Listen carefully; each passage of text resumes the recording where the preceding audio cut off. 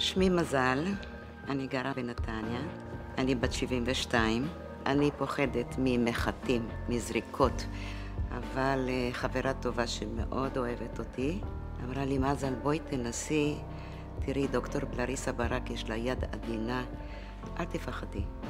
היא עשתה לי את הטיפול הראשון, היא עשתה לי בוטוקס במצח, וזה לא כאב. תלוי גם מי עושה את זה. דוקטור לריסה עושה את זה בעדינות. היא הורידה לי את הפחד. היו לי שקעים שחורים מתחת לעיניים. הייתי צריכה לשים כל פעם קונסילר כדי שלא יראו את השקעים. היום זה... אני בכלל לא שמה. אני כמעט ולא מתאמצת. אני פשוט שמה אודם וזהו. ואני מרגישה טוב עם עצמי. זה עושה טוב.